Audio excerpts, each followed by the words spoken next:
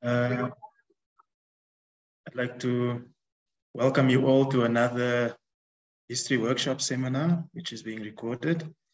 Uh, and uh, today we are going to be engaging with our esteemed colleague here in the history workshop, uh, Asher, Asher Gamedze, who is a uh, cultural worker and is doing his PhD research on uh, the relationship between study and struggle in the history of the Yu-Chi Chan Club and the National Liberation Front. Um, and today, judging by the, his paper and by the abstract, he'll be giving us a very exciting presentation on his paper titled The Azanian Liberation Front, Notes Towards an Investigation. Uh, so uh, without any other delay, I think, uh, Asher, if you could please indulge us with your, with your presentation. Cool. Uh, thanks very much, Chris. Uh, and yeah, thanks to Chris and Jogu for uh, setting this up and inviting me to present something. So greetings to everyone. It's nice to see some, some comrades and some friends and some fellow history workshop folks uh, around. Uh, so yeah, thanks for joining to uh, listen to this work in progress. Um, so I um, I'm going to resist my intuitive presentation strategy, which is always to kind of improvise most most of the things. Uh, but I found that I often dig myself into holes and try and clarify things through extended monologues um, with myself. So um, hoping it won't be too boring, but I'm going to read quite a lot of sections from the paper today, um, just because I want to get as much in as I can, and I think that's the best way to do so. Obviously, I can't um, go through the whole thing because uh, that will take us a little bit further over time. Um, but yeah, I just wanted to mention that I've really just put this um, put this together um, the seminar, the invitation to do something at the seminar was really uh, an invitation to kind of work on something new that uh, intending to work on for my PhD. Um, but this is kind of, you know, where the work is at right now. Um, so it needs a lot of work and I'll appreciate people's comments, thoughts, questions at the end.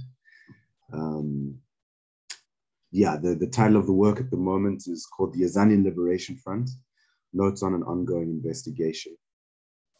Uh, I've got just two epigraphs at the beginning of the paper, which I'll read to kind of hit, help set the kind of scene somewhat. Um, the first one is from Johnny Issel, uh, who we'll hear a little bit more about later in the paper. He says, you see, in 1981, the political situation in the country, especially in the Western Cape, was quite amorphous. Nobody at that point even thought of planting their own flag anywhere. It was only from 1981 onwards that people started thinking of putting down the black, green, and gold. The second epigraph is uh, from the infamous Major Snyman, and this is from um, the stand. That there were discussions on the establishment of a revolutionary front of the ANC and the PAC, which, according to him, are terrorist organizations, and the unity movement of South Africa and the BPC, the Black People's Convention. I further put it that we had information that plans had already been made for him, Mr. Biko, to go overseas so that these four organizations could come together in a united front. I put it to him that he had discussions with Robert Sobukwe, the president of the PAC, who was restricted. Okay, to introduce um, the project, um, the Azanian Liberation Front, which I'll speak about as the ALF, was a planned organizational form that, that aspired to cohere various, various elements and tendencies within the national liberation movement, internal and external to South Africa, into some kind of united front. The planning and organizing for it took place between about 74 and 77, and the front was to be based on some kind of common understanding and minimum program around the revolutionary project of national liberation. Uh, this paper is about the organizing and the planning to set up the front, as well as the context out of which it emerges, rather than the front itself, which never actually materialized. Um, so I'm going to skip a section on sources and the genesis of the project. Um, we, we, might we can discuss a little bit about that in the, in the Q and A. Um, what I want to do before getting into discussing the front is kind of discuss a little bit of the context out of which it emerges. Um, and I want to highlight mainly two points, uh, three points. Um, the impetus, the main, excuse me, the primary impetus for establishing the front uh, came from the Black consciousness movement.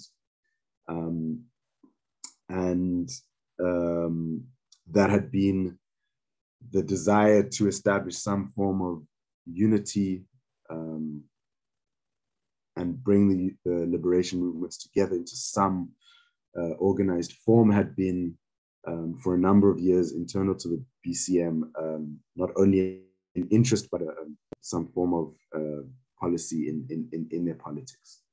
Um, the second point I wanted to raise was that um, around from around the mid mid 70s, um, a number of conflicts and tensions had started to emerge between um, some of the exiled leadership of uh, liberation movements and the internal wing. And a lot of um, there was some of the problematic developments of that were that the work of uh, and the safety of internal um, comrades was often being compromised by the way in which exiled um, leadership was sending people into recruitment work, uh, etc. Um, the third thing I wanted to, to, to mention in this kind of context or background to the establishment of the front was um,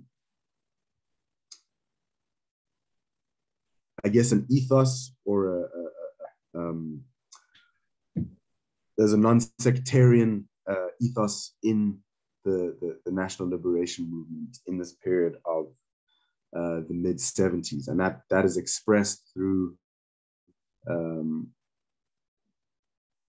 uh, reading groups, for example, where um, a number of particularly younger BC militants um, who were interested in expanding their uh, kind of intellectual and political framework were seeking out some of the older um, comrades who had just returned from, from the island. And there was um, various forums in which ideas, positions were debated and discussed, things were read. Um, and there was also instances where people were organizing um, from within this kind of non-sectarian milieu, where people from the Black consciousness movement, the PAC, the ANC, um, some of the independent socialist groupings that, that, that, that Neville speaks about um, in his piece on the, the background to the Azanian Manifesto. All of these groups are working together uh, intellectually, but also politically. There was, uh, there was a planned demonstration around the, the, the independence of Transkei that actually never actually ended up taking place because uh, in 76 kind of uh, erupted and threw a lot of uh, threw up a lot of new questions and new opportunities. Um, but that's the last thing I wanted to highlight about that moment, um, which is kind of the background to the front that there's this non-sectarian politics, um, and that that's the background against which the, the front is organized. Um, in some senses, it's it's uh, it's conditions of possibility within the liberation movement. Um, okay, so I'm going to go on to the, the, the next section of my paper, uh, organizing the front, plans, discussions, principles, and sticking points. Uh, the slow process of planning and organizing the front took place undercover under conditions of state surveillance and repression. Comrades who were involved in the process were situated in different parts of the country. The Eastern Cape and parts of Natal being proximate and the Eastern Cape playing host to the center of Black consciousness activities in Ginsberg were the places where the talks were most developed. In those regions, as well as in parts of Cape Town, there was the strongest consensus and consciousness around the front amongst the various movements. In order to meet, the protagonists often had to either spirit themselves away under the cover of darkness and pretense in an attempt to fool the security branch or fabricate alternative stories of why they needed to travel. On the one occasion that Biko and Sobukwe got to meet in person it was to discuss the front, and the latter actually took on a case. He was working um, as a lawyer. He took on a case in a close by district uh, so that he could travel through Ginsberg in order to meet Steve Biko. In addition to the Black consciousness movement, who initiated and was driving the process, uh, and Sobukwe, who was supportive and uh, representing the PAC in the attempt to build the ALF. The other formations included certain elements of unity movement and um, so-called Neville's group. Uh, the position of the ANC presented a particular kind of challenge at that moment um, for a number of protagonists in the group. There were issues mentioned above uh, whereby elements of the ANC had become hostile to um, the Black consciousness movement, and there were witting or unwitting attempts to undermine attempts of the movement to organize inside the country. And um, that was unnecessarily exposing cadres to the police. In addition, there was the question of the South African Communist Party and its relationship with the ANC, which was a problem for various elements of the Black Consciousness movement, the Pan Africanist Congress, and the independent socialist groups for some different and some overlapping reasons.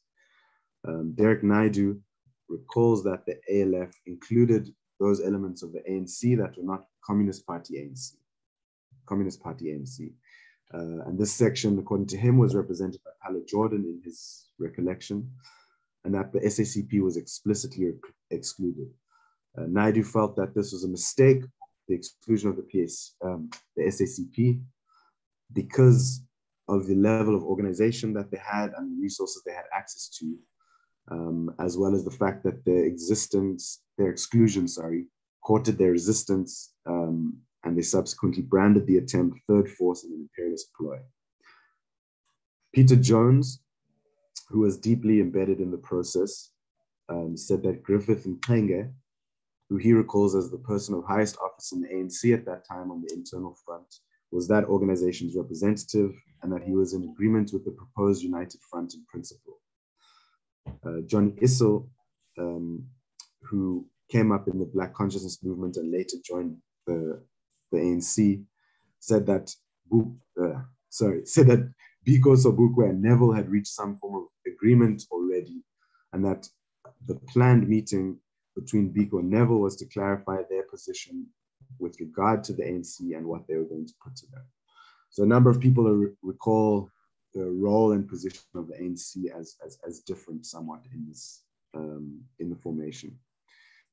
After reaching consensus inside the country, it was planned that a representative from the United Internal Movement would go outside the country to meet the external structures, in particular with the ANC, because the internal group wanted access to the level of organization and diplomatic effectiveness to discuss the proposal.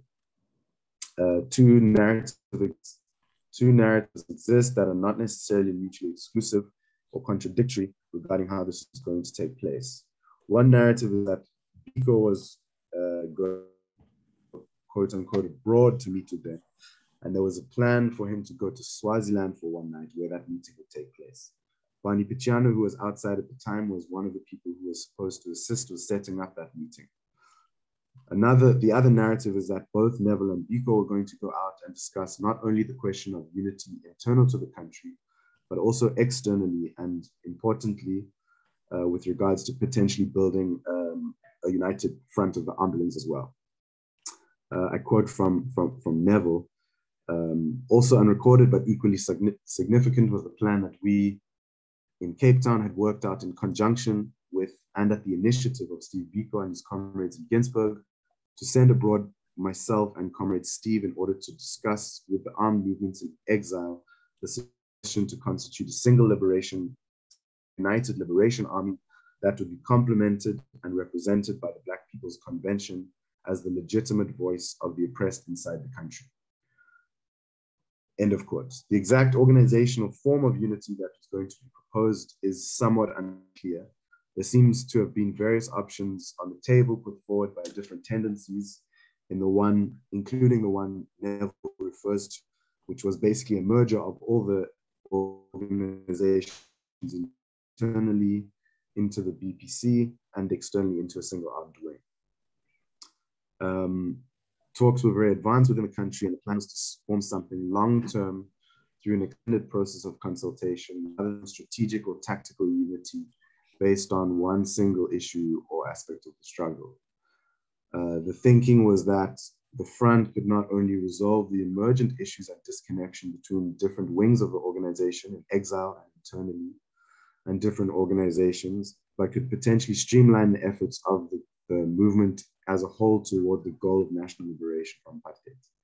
Um, through extensive meetings, Biko and Jones had synthesized the conversations they had had with, with various comrades and had drawn up a paper with minimum demands that had been endorsed by all the movements internal to the country up to the highest level, with the exception of the funding issue. The funding issue um, was as follows. There were reports floating around in the liberation movement that the Black consciousness movement had been taking funds for their activities from uh, quote unquote the Americans. This was known and was a point of contention both internal to the BCM among certain elements, as well as uh, in the process of organizing the front between other movements. Um, Neville had a mandate from the group that he represented, Neville Alexander, not to meet Biko until the Black consciousness movement had clarified the question of the funding. Um, um, those who came from the unity background, uh, not necessarily involved at that time in the unity movement, the politics of non-collaboration um, was used to say that no form of principled unity principled unity could take place if certain elements of the front were taking money from the oppressors, the imperialists. Um, the unplanned meeting that was attempted by Biko and to meet Neville at his mother's house was to be the final con consultation before the internal liberation movement would have by that time reached a consensus on the form and program of the United Front. The meeting tragically never happened, and on the following day, Jones and Biko were arrested on their way back to Ginsberg. Under arrest, Biko and Jones consumed the paper that represented discussions, plans, travels, and meetings, um, and principles that were developed over three to four years of underground organizing. Uh, uh, that was under the conditions of arrest when they realized that they had this piece of evidence of the front on them. Uh, I quote from, from, from Jones, the basic point of departure in the document uh, had been that the kind of differences amongst the liberation movements in this country were not fundamental differences. If it is a difference in the first instance, it's a postponable difference in terms of the priorities of where we are today and where we need to get.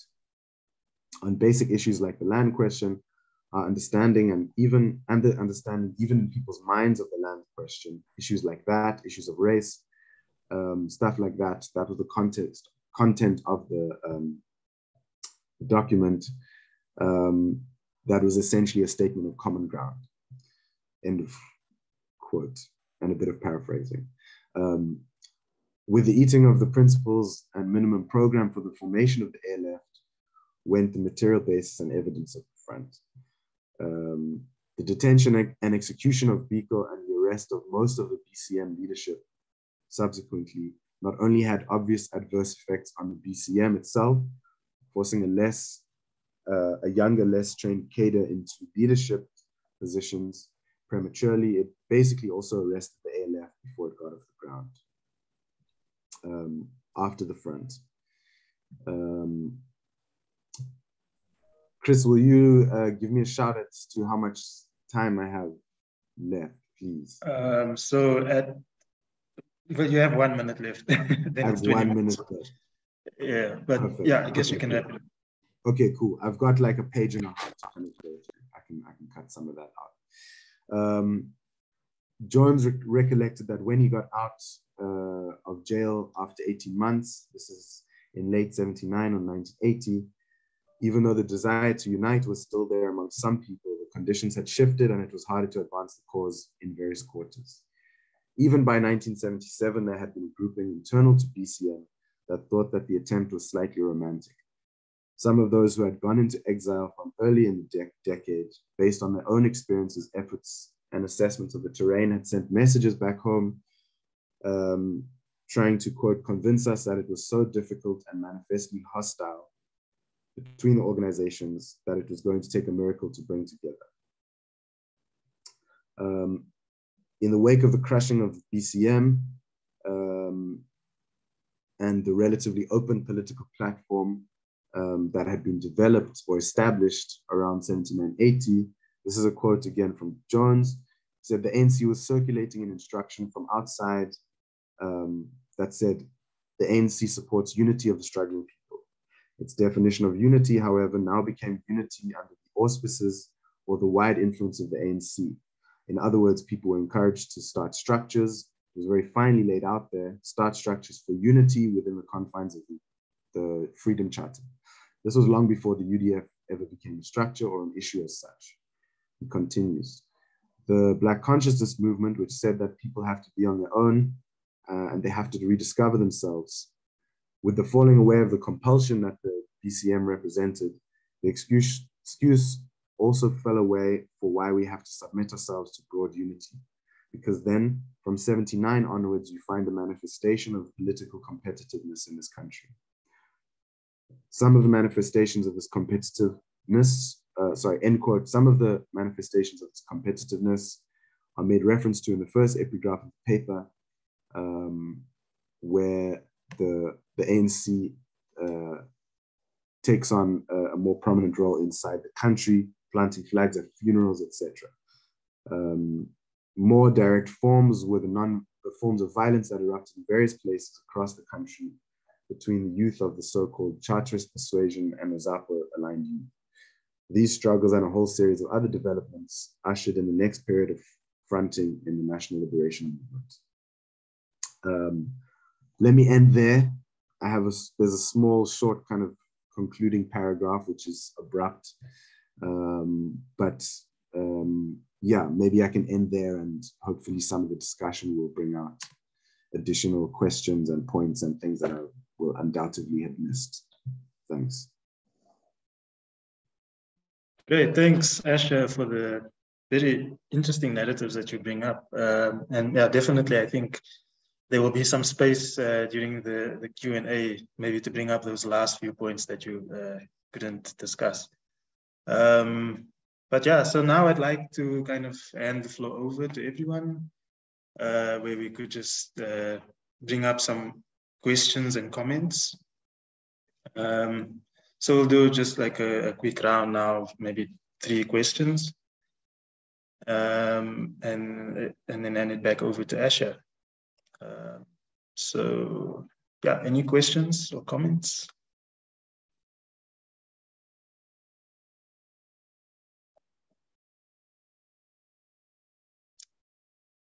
So we have Noor and then Tshepiso. So Noor, if you could go first. Yeah, thanks, uh, Chris, and thanks very much, Ash. It's fascinating. I think this is really, a, you know, a crucially important moment in the Constitution, or lack thereof, uh, of a kind of different configuration of liberation politics. Um, and so one might um, kind of regard it as an opportunity missed. Um, I, I, have uh, initially two questions, and I, you know, I might, uh, I might uh, try and get a, a, second bite at the cherry.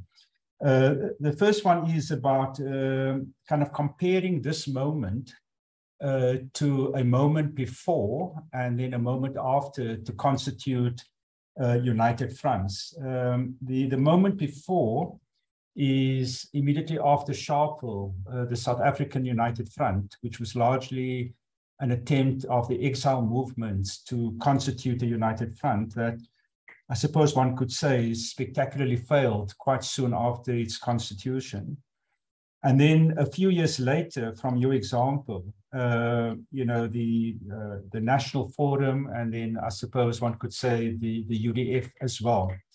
And I, I, I wonder if you if you could reflect on those different experiences um, and whether there's something uh, in the uh, kind of uh, uneven success. I, I was going to say failure, but let me say uneven success in the constitution of United Fronts uh, amongst the kind of broad left organizations. Um, and that, that leads me to a kind of conceptual question, and that is uh, what, what, what is a united front? Um, uh, what, what, what is the idea of a front? Because what, we, what, what you're talking about are sort of uh, attempts by key individuals uh, to, to constitute something differently. And it seems to me that uh, the initiatives uh, advance more internally than externally. And is that because organizations like the ANC and potentially the PAC were in fact on a different trajectory and were simply not interested in creating a united front in which they would have to uh, you know, behave quite differently organizationally and politically in trying to create a new kind of liberation movement. Thanks. Thanks, Noor. Uh, then next we have Tshepiso. Uh, thank you so much, Chris. Um, this is very interesting, Asher. I enjoyed uh, your presentation. So thank you for sharing with us, and I look forward to reading the, the complete paper. Um, my first question, before I saw that he's in the room, I was going to ask if you've engaged with Toivo's, I hope I'm pronouncing his name correctly, Toivo Asheeke's work, because um, I think that there is a lot in there that would be uh, very rich for what you're doing. But I see Toivo's here, so if you haven't, then you can talk to him directly. Um, he might have some questions or whatever. And then the second one is, um, I don't know if it relates to Noor's question. Um, oh yeah, he says, you and Asher are comrades, of course. um, so the second one is, um, I think it might relate a little bit to what Noor said, maybe not, is that, you know, when you were talking, I was wondering if, um, you know, the, is would you cons- would you like consider the ALF like a black nationalist version of what later then um, was the UDF, you know, the, the the UDF that emerged in the in the light in the 1980s, and is and and could that could the black nationalist um, uh, how can I say, structuring be the reason why, or part of the reason why, you know, you, you actually you listed a, a number of reasons why it didn't, it didn't quite take off, but could the Black nationalist angle be why it wasn't um, um, as successful, for lack of a better term, as the UDF um, later then, you know, became to be in terms of, you know, the following and the unity and all of that. And yeah, that's all. Thank you. Thanks, Tshepiso. And then lastly, Marcus.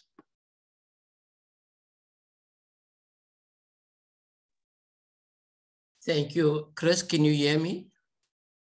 Yes, we can hear you. Yeah. Uh, Ash, thank you very much. Very interesting paper. And um, uh, I also see some people uh, like to say hello to Karen and some Salim and others. But what I would like to say, um, firstly ask, uh, because there is a narrative that the UDF was formed by the ANC and its underground cadres. My own experience, it, it was a grassroots movement. So at the time, my understanding and experiences is that there were two uh, processes one a grass, a bottom up, community organizations, youth that went to form the U United Democratic Front. And then there was the other process, left intellectuals, academic, I mean, uh, activists, this is what we call the attempts to form a united front. Um, and I think, and I would really like to just jump to, to what is happening now. I think we are again at, at a stage uh, where there's a mess from my little experience with organizations through my work in what the is called the Right of Children to Food campaign. We have 19 organizations, have a number of uh, uh, partners in that uh, campaign, uh, independent, like the Food Justice Coalition, and a number of others. We are composed of, of, of structures like the People's Health Movement, a number of uh, early childhood development programs, uh, community structures. And there's a great demand for a united effort in communities, mother, and especially mothers. We have right now in the country about 200,000 community-based organizations. And the few that we've been in contact with, like almost exclusively women, uh, there is a, they really are crying for, demanding, requesting that we begin to build a movement of movements, united, uh, unity in diversity, if you want to call that. So yes, I think it is very interesting. I think for my for my purpose of, of, of my own uh, uh, uh involvement now, some of what you've uh, recorded and, and, captured is really uh, helping to, to chart the way forward. I think it's very important, and I think uh, it's a it's a luxury. The sectarianism, etc., is a luxury, and I've always, and well, not always, I've come to believe that this thing about calling the, the, the united uh, uh, uh, front of, of the left, I think the left will only unite if they begin to work with communities. It is only in that process that the left will, will through a process of engagement.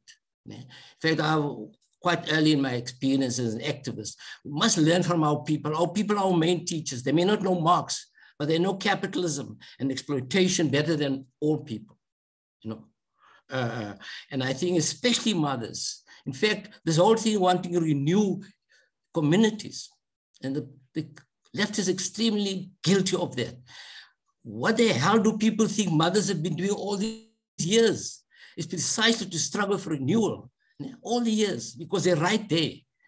And we can go back to what Marx and others, in fact, Rosa Luxemburg in 1905, 1905 already. She challenged Marx on the emphasis on wage labor, yeah, on the, the struggle in factories. She was questioning then already. What about the labor of care in communities where workers live out the daily life? Yeah. So my, my basic, my one of my questions then is, what has been your little bit you've picked up about how the UDF came about, my own experience about it came from the ground, civics, etc. And then, of course, just maybe uh, what are your observations about how that experience can inform the present? Thank you very much, Chris. I'm sorry, maybe I've taken a bit more extra time. Yeah, thanks.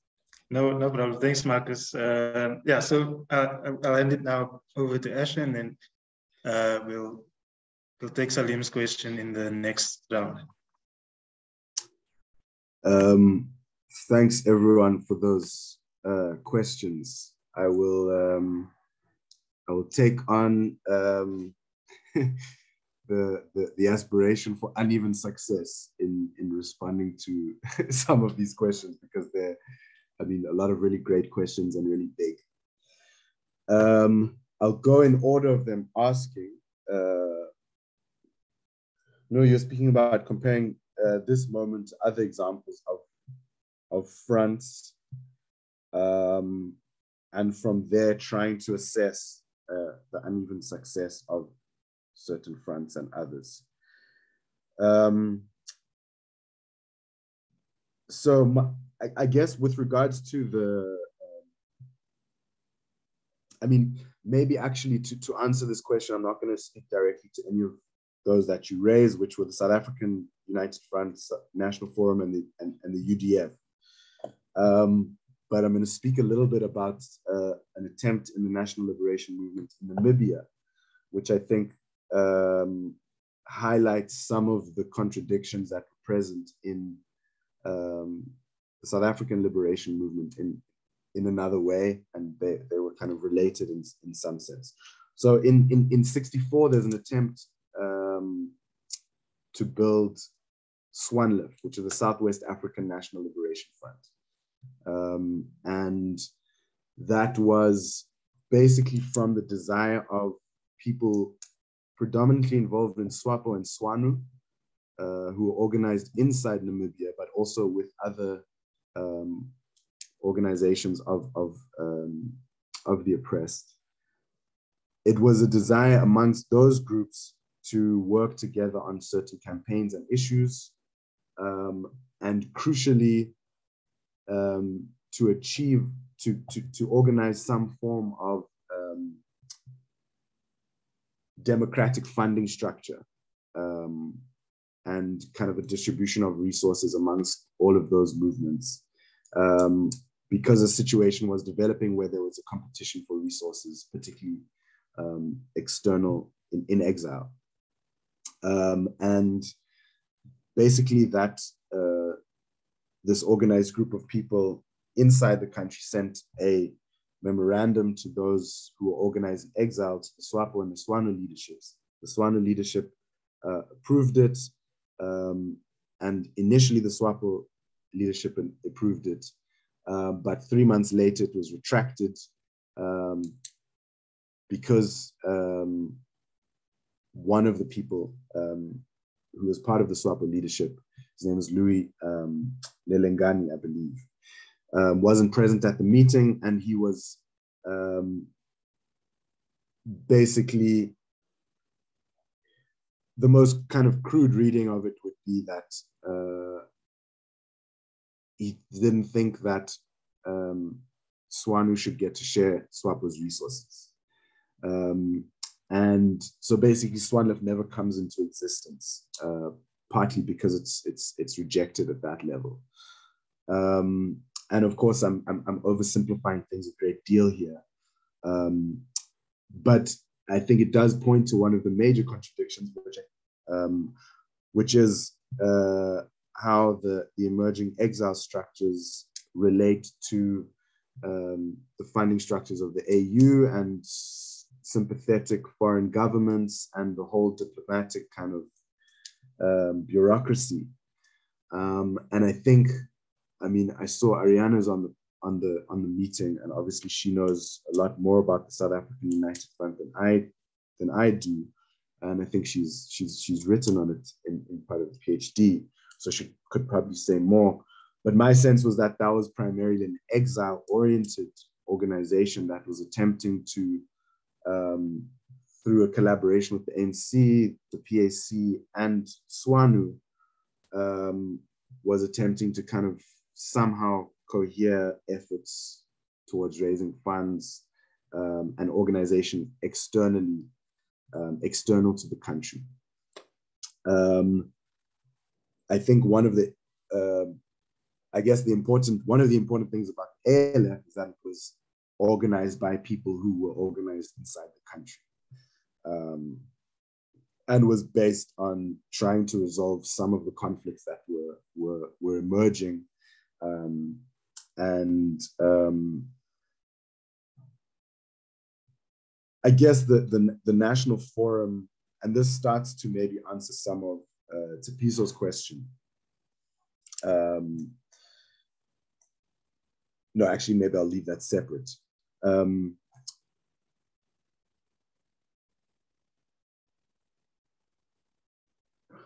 I'm just thinking about the, the, the, National Forum and the UDF and why your profit's a big question. I think maybe we can chop, chop it up a bit further. But um, I mean, I think part of the reasons of its failure um, relate to uh, the kind of crushing of the BCM movement at, after Biko's uh, arrest as well. Um, and the failure of the National Forum I have to I have to think about that and read about it a bit more. I feel like I'm ill-equipped to answer that question now. And then I guess the question of what is a united front, um, and which is also kind of in the territory of the previous question, I guess, and how I answered it. Um, but obviously, there's there's a whole series of different debates that happen uh, at different times around what what a united front is, and some of those draw on some of the so-called classical debates in, in, in, Marxism around the popular front versus a, a, a united front. Um, and my sense is that the debate around what is a united front um, was very important in the 80s in the in the lead up to the formation of the National Forum. Um, and I'm not so sure that that, that, uh, that debate, I'm not sure how, um, how, how that debate took place in the process of formation of the ALF. Um, but I guess the, the, from the position of uh, Neville and other people who had a unity movement background, theirs was to strive for what they understood to be a united front. And um, for them, what that would mean is no involvement of uh, people from the ruling class. Um, so for them, a popular front would be something that could include all almost all elements of society who are resist who um, are resistant to a single kind of issue or um, but don't necessarily share a, a, critique of certain other issues that they would consider fundamental. Um, and so question of what is a united front? I mean, I think that debate takes place in different ways at different times. Um, and I'm not sure if a, I mean, I think a national front is something that I'm trying to bring into the, the, the conversation um, as um, to situate it not as, yeah. So I'm interested in thinking about it, I guess, the national front, um, which has a relationship to the idea of a united front and how that comes through a certain tradition of struggle. Um, but if we look at uh, anti-colonial struggles across the world in the mid 20th century and even later, uh, the National Front seems to be, um, or Liberation Front seems to be a more prevalent form than, than, than a United Front, even as debates around what a United Front is shaped a lot of those um, things. Um, Tshepiso, you asked a question about Toivo's work. Yes, Toivo is an old comrade of mine, um, and his work has, um, yeah, been very influential to my thinking and he's been very encouraging and helpful. Um, we had a conversation last week about this work. Um, and then you asked the question, would I consider the ALF a Black nationalist um, formation? Uh, and no, I wouldn't.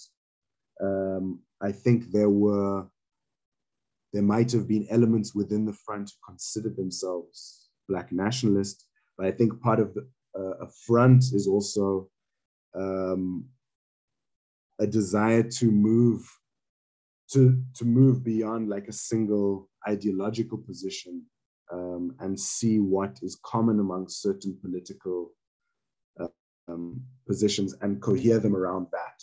So um,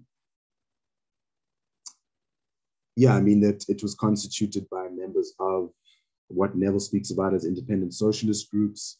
There's members of the Black Consciousness Movement, the PAC, and uh, I think importantly also the, you know, all, like the Black Consciousness Movement particularly also is is a movement, and there was people from a whole variety of positions within that, right? And part of the background to this, the the, the, the front is this non-sectarian moment of learning as well, where I think people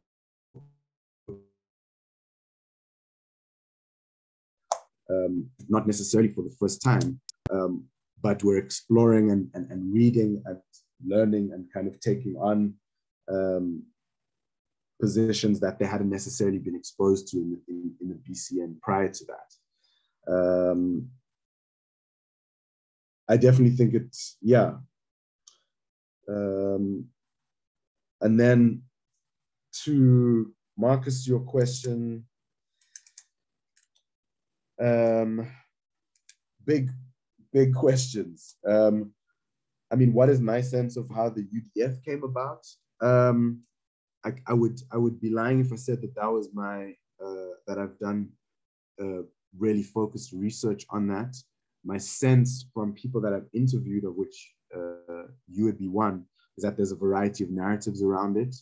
Um, I guess what I'm trying to show in this paper is that um, without being without at this stage of the research being able to kind of make a very clear uh, connection or conclusion as to um, the exact impact of the failure or uneven success of the ALF to at least be able to say that this, this attempt existed before the UDF. So the, the conditions of its failure are, are, are in some way part of uh, the condition of the UDF's formation. Um, and what exactly that means and what um, how that plays out um, I would have to I would have to do do, do more work to, to really be able to respond to that question uh, in, in a more kind of concerted way. My my sense from from from you as well as conversations with others is that a lot of formations uh, start off as people's people's organizations autonomously and independently constituted um, and become and through a certain process uh, the ANC starts to take control of the UDF and or, orient it in a certain kind of way. Um, so not necessarily that the ANC started, not that the ANC started it, um, but that there was attempts in some ways from fairly early on, some from a little bit later, to control the direction and content of these structures, uh, many of which were independently organized initially. Um, and I mean, yes, I think that for me, the the real importance of of this work or conversations around this work at least is to figure out what you know how we fail better um, or how we enhance our uh, the, the, possibilities for more more more uneven success um, within contemporary and future struggles. Um, I don't think there's any kind of you know formula or anything that we derive from these these histories, but I think the the importance of revisiting these non-sectarian moments to me is important for how we think about the future, um, undoubtedly. Thanks. Thanks, Ash. All right, thanks. Uh, yeah, very rich themes coming out of this discussion. Um, so I think we, we have time for another round of questions. Um, so I think Salim had a question from the previous round. Perhaps if we can have him first and then Toivo afterwards.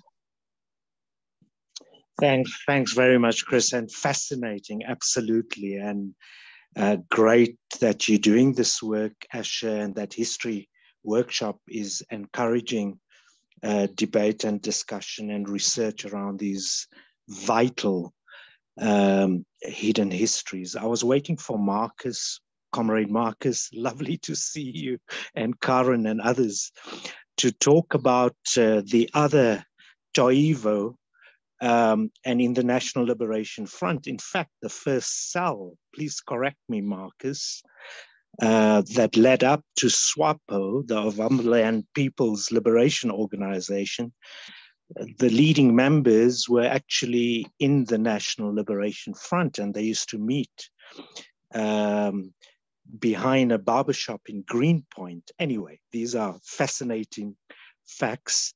Uh, and I think the question about the continuities and discontinuities between that National Liberation Front, because Neville Asher in the piece, you quote in the illuminating moment the background to the Azanian Manifesto, talks about how that experience of the National Liberation Front um, allowed BCM activists to gravi gravitate to uh, towards um, you know those who belonged to the National Liberation Front. So that's that's a really interesting point. There is a talk Neville gave, Asher. I'm not sure if you have the document. I don't think it's been published. I might be mistaken, but it's called Steve Biko's Last Attempt at Uniting the Liberation Forces. It was a talk he gave in 2007 at Rhodes. It's very useful. There's some duplication with the piece you are aware of, but I can pass it over there's some very interesting points that are made in this talk, uh, which um, I think will assist piecing together the kind of debates and the kind of thinking. I mean, you've really, th this is the peril of coming in the second round, Chris, because Asher has answered my questions. I think that the question of sectarianism is absolutely vital, which doesn't take away or diminish what Marcus says about work, grassroots work with communities.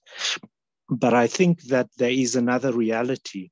And you see this in COSATU, and I was there, and you know, some of the actors are still alive. And you can't dispute the fact that COSATU at the time of its formation was a really grassroots organization of workers. But there is a certain amount of manipulation and sectarianism um, that uh, resulted in the kind of leadership we had with COSATU. There are other points about the National Forum and the UDF which are important. And I know Asher very bravely attempted very quickly to talk about the Popular Front and United Front, but these aren't abstract theoretical issues. I mean, the society we're living in today, in a sense, it could be said that those people who had a particular critique of a Popular Front have been vindicated. I mean, when we drew up the Azanian Manifesto, by the way, these weren't just intellectuals or Black nationalists. That's a very crude way of capturing what happened there. There were 200 organizations at the National Forum, 600 delegates. There was a very rich debate and discussion, what we call today ancient debates about race and class, where we talked about racial capitalism. So I think what you're doing, Asher and others, through the history workshop is vitally important because many of these things, you know, we shouldn't be we shouldn't succumb to the kind of propaganda and those who had the resources and who can write the history. So this kind of truth telling, this kind of thorough research is absolutely important. Um, I just, um, I think I should stop there, Chris. I, my, my questions really were answered by Asher, but I really hope to uh, encourage this work, support it, and look forward to engaging with the paper uh, and the thesis once it's done. Thanks. Thanks, Salim, uh, for your comments with the sectarianism coming up again. Uh, but yeah, okay, so Toivo next. Um, all right, cool. So let me see if I can make this brief. So Asher, again, great presentation, and we've been discussing this work for a minute. Um, so I'm just really happy to see you finally, you know, presented to actually see you present this work finally has been really great. Um, so here's my question slash comment. One, I'm thinking of one of the members of the APLF, the Azanian People's Liberation Front, and I think uh, um, I know you've read about it in some of my work, um, particularly Charles Mtombeni. And Charles in my interviews with him, you know, I asked him why was it so tough for the Black consciousness movements in exile to come together and to unify, right? And um, part of what he argued was that we talked a lot about unity, but the daily praxis of unity was lacking. So we actually were uneven, even unable to do simple things together, but everybody's talking about unity when some of that deep uh, just quote unquote mundane, I say quotes, right? But that day to day work is not happening, right? And so it got me thinking as you were presenting, I began thinking of if you go back to the 1920s in South Africa, right? Oftentimes you would have activists, right, who were members of the ANC, the ICU, and the UNIA. That wouldn't have been unusual because the work, the day to day praxis work, is already pushing you in that direction. Whether you declare unity or not is actually irrelevant, right? And so my question in some ways is what is it that I think sometimes when we and I and I've fallen victim to this too. Oftentimes, when we're looking for these unified fronts and unified movements, we we like we want some huge declaration where some big conference happens, people come together, and everybody's in tears, throwing up the Black Power fist, and then boom, we have unity, right? This actually is not how much unity works, right? Um, so my question is: Is it possible in this research that you're doing, or maybe some future work that you do, for us to be looking at some the day-to-day praxis around some of these things? And in some ways, I'm thinking about the BCPs, right, that Leslie Hadfield has done work on. When you're looking at the BCPs, particularly like the health programs in the rural areas, the leather working uh, factories, right, um, uh, uh, they're all working together, ANC, PAC, BCM, uh, whether you're in the three or not, it's irrelevant, right? Um, um, they're working together in the day-to-day praxis. It actually doesn't even need to be said that this is a unified front. They're doing the work right? And so what, how is it, is it possible for us to capture that? And even now, there's a lot more unity that does exist actually than I think we give credit to. We just want to have a nice manifesto and a huge, you know, ceremony, which now says, boom, we're united, right? Um, but actually in the praxis, in the day-to-day work, and I think um, Marcus Solomon has already talked already about the women's movements, right? Women have always been central to these formations, and they're always actually working across political lines. One of the things I was unable to research in Botswana is you have a Black consciousness women's formation. Uh, Nosipo Machoba was talking to me about this, but I wasn't able to go deep on it. But when I get back to Azania next year, I'll go deeper on it. Um, they actually formed um, um, a black kind of a black women's house in Botswana right? Where actually they were, uh, it was kind of like a safety house for all the women of the various tendencies of, uh, the, of the Azanian formations, ANC, PAC, Black consciousness, or whether you weren't even with all three, right? And in their own praxis, they're already having a united front, right? So it actually doesn't need to be some huge uh, declaration or statement or whatever, right? So my question is that maybe in the research, what, uh, what do you think about us looking at just not necessarily having these definitive things right? These big conferences, right? Um, which is mostly about leadership trying to come together, right? Because usually the grassroots are usually working together. It's the leadership that have the beef, right? Um, or the foreign interest. So just what is it possible for us to look at unity in that kind of a sense? All right, thanks, to Toivo, for the question. Um, yeah, is there maybe a last question or comment before handing back over?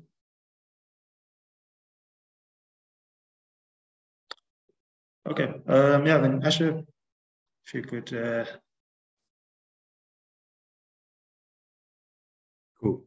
Um, thanks to comrades Toivo and Salim for their comments and questions. Um, uh, Salim, Salim, please, I would love to see that uh, that speech that that that Neville gave uh, at UCAR uh, that you mentioned it. Um, I there's a book that he he references uh, in that uh, piece on the Azanian Manifesto where he says that he's he's written elsewhere about this kind of attempt at unity, and I've, i just haven't been able to get hold of that book. So I'm wondering if that speech is has that that, that text in it anyway. Um, and I guess maybe just quickly on the, the, the some of the the Namibian connections within uh, or the Namibian comrades within the National Liberation Front. My sense is that Toivo wasn't part of the National Liberation Front. I think he had already been banned to, to uh, so-called to Ovambo land by that time. But the one of the central people who was later in touch with and worked closely with Toivo was Andreas Shipanga, um, um, who was one of the, the, the NLF comrades and one of the major links between uh, the NLF and, and, and, and SWAPO. Um, and yes, I mean, this, the story of uh, the story of the beginnings of, of, of initially the, um, the OPO uh, and later becoming SWAPO in, in the barbershop has been quite, quite systematically kind of uh, chopped out of the official SWAPO narrative.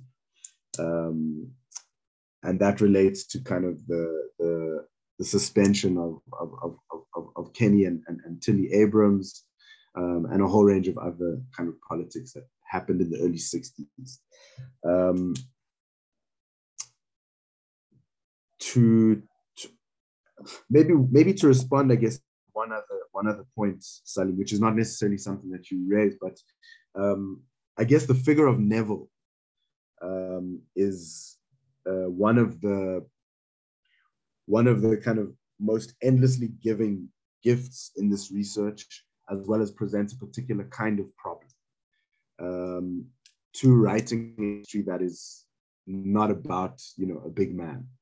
Um, and unquestionably, Neville was central to so many different formations, Um, and I mean, the brilliance of his intellect, uh, I, I, don't have to, to, speak about to anyone here, I don't think. Um, but what happens, I think, sometimes when people have recollected the story of, for example, the ALF, to me, people who were kind of close to Neville or came out of some of his formation that he was part of, often Neville is kind of presented as the central character in the, the ALF story. Um, but if you go to Neville's text, you know, he's he is saying that this attempt came from the BCM. It was a policy within the BCM. What the central person was Biko. Um, so it's um, it's interesting even how I came to this uh, this work was initially thinking that this was another attempt that a group around Neville had kind of uh, initially thought of and um, kind of tried to organize. And it became, you know, clear very quickly that um, even though Neville and the people around him were central to the, the process, it wasn't initiated by him, even by his own um, remarks. And Salim, I'm not, I'm not responding to that, saying that you are saying that or anything, um, but just a, a, a, something that I've been thinking about in the process of doing this um, is how the actual history decenters some of these figures uh, in useful ways. Um, and then Toivo, I think you, you raise a really great question uh, at a point. Um, and I think that, and I'll, I'll, respond to it in two ways. Um, one is something I tried to respond to uh, about the, the difference between internal and external exile organizations is the kind of one of the differences being the need to be working across partisan affiliation because certain issues require that and that form of organizing already exists and externally because of the because of the terms of order because the terms of order recognize uh, people organized in particular kinds of ways perhaps the partisan um, and sectarian politics are enhanced um, externally because of as you mentioned the distance from day-to-day organizing um, and the, the, kind of material need to be working together. Um, and yeah, I mean, I think I, for me, I tried to capture that in the paper by, sh by showing that the attempt to build the ALF uh, exists and comes out of at least two sets of dynamics. One being the fact that the the, the, the, relationships developing between the exile and internal movements was needed resol- resolution in some way. And two, that some form of non-sectarianism was had already been developing and was emerging. So in the in forms of organizing and in um, um, forms of thinking together, discussion, critique, etc. So I think, of course, these moments are deeply important. Um, I also do think that at different historical moments, um, the form, the organized expression of unity, which is really just a question about the organizational form of liberation forces, may need to formalize itself in some way, right? Um, and I think that's really what the, the, the, the attempt to form a front is. So my, my intention is not to focus on these big moments with the manifesto and whatever, but rather to show a how that emerges from a certain practice of already organizing together, and kind of you know to try and figure out what the um, what the conditions were such that that was necessary in that form. Um, thanks.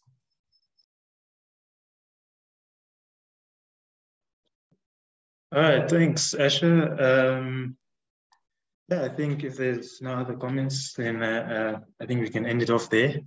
But I think we already have so many, uh, you know, interesting themes and, and narratives, uh, you know, especially about uh, thinking about the ways that we organize today. You know, I think that was one of the the most interesting uh, things that we took away from the comments in the discussion. Um, but yeah, thank you so much for the presentation. Thanks to everyone for joining us. And I wish you all the best with the rest of your research and your PhD. Thanks, Chris and Njogu and Antoinette for organizing everything. Thanks very much, Ash and others. Thanks, everyone. See you, Marcus. Uh, okay. Cheers. All the best, Asher. Thank you. Great work. Bye. Bye. Bye.